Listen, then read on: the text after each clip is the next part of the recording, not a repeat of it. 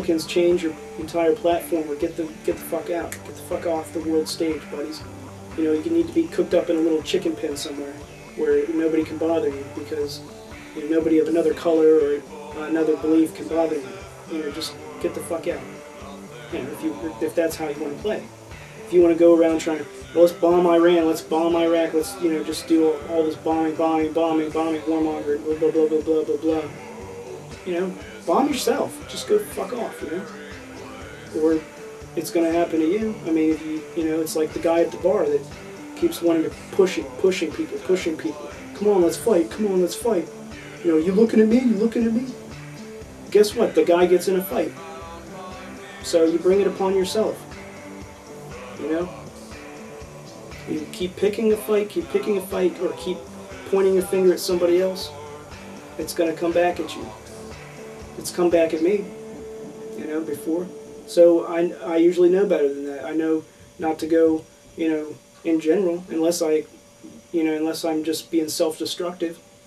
There's no reason for me to go promoting warfare, promoting fights, when life is much more enjoyable if you don't do that kind of bullshit, that kind of little, little childish shit.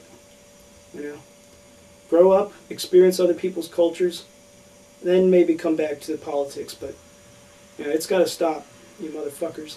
And I say that you know with compassion because these are people, you know, of my own country. So you know, don't don't patronize me. Don't don't tell me that you know that you know Iran needs to be bombed.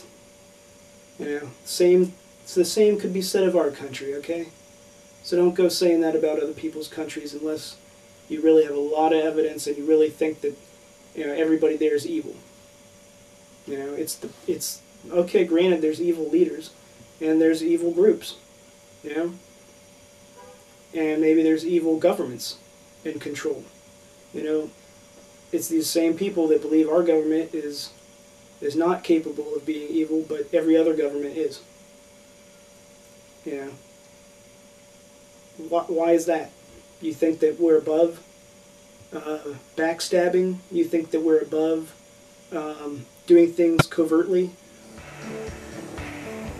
Uh, now, obviously, you've never seen the records of the CIA, the FBI. You've never looked at the unclassified documents that are out there. You've never heard stories firsthand from CIA agents, FBI agents, or people involved with them. If you if you actually get out there and you talk with people and you you want to have compassion for people,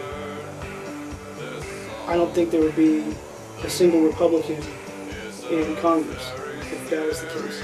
But we have a bunch of same with the Democrats. But, you know, again, Democrats do tend to try to represent the people a little more. But they're all, you know, they're all being sold out. You know, the companies are buying them up. So let's not let that happen. Do what you can.